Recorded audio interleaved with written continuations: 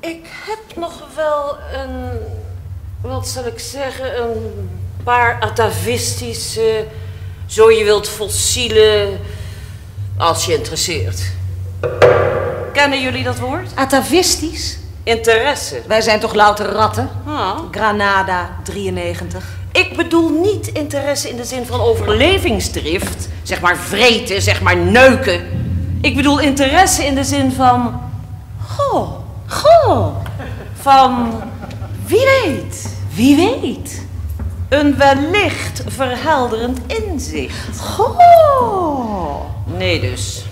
Wat wil je dan? Wat ik zou willen? Ja, Noem het eh hartstocht. Sorry. Hartstocht. Wat ik zou willen.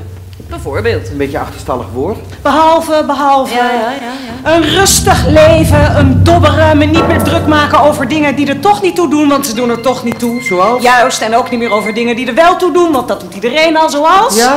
Misschien bereik ik wel prachtige sokken. Leven zonder te leven, dood zonder dood te zijn. Word ik mystica? Jij. Ik ben niet bang. Jij maakt alles kapot. Ik? Is het dat dan niet? Al niet? Dan al niet? Hij houdt van me, zegt hij. Ja, wat moet ik daarmee? Met liefde. Met gekte. Ja, Waarom zitten we hier terwijl er alleen maar een ijskoude wind om ons heen waait? vanwege het uitzicht dat zich maar niet wenst prijs te geven. Begint het weer? Wat doen we hier? Dan messen werpen? Hou op. Luisteren naar het ritme van onze kankers? Zeur. Ophouden! Jou een schijn van bestaan geven.